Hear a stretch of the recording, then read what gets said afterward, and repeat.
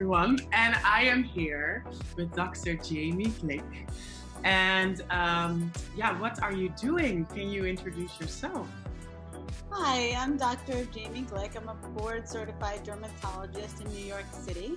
I've been in practice for a little over four years now, and I'm excited to be here.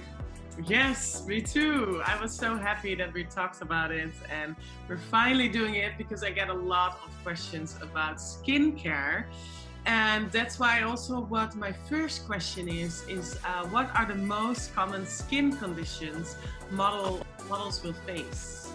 I would say the most common skin conditions that the models that I see face is probably acne. Um, I think it's probably related to the makeup that often gets put on the face, a lot of the travel and stress related to um, the profession. So, and also the age of models. Typically, acne onset is when you're, you know, like a young teenager, and that's when a lot of people start their modeling career. So, I think it's a combination of all of those things that I often see models coming into my office for acne. Yeah. And how, what can they do about that? So I actually consider myself an acne and rosacea expert. I love treating patients with acne. So there's so much that we can do, and it really depends on the patient.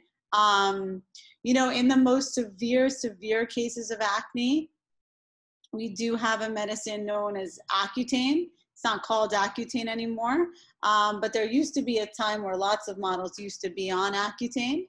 Um, now we have a lot more in our armamentarium that we can treat patients that doesn't require Accutane, but that is an option.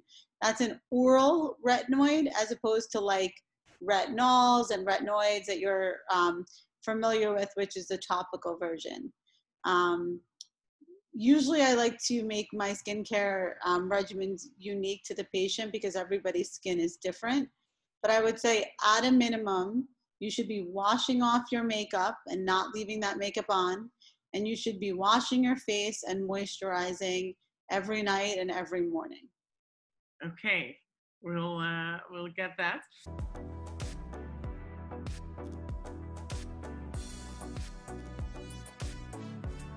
Well, two questions actually about the eyes because uh, sometimes if if I have a morning morning shoots or sometimes there are shows that the call time is 6 a.m. Um, my eyes are very puffy. Uh, and what do we do with eye bags? So those two things. So that's a great question. Um, so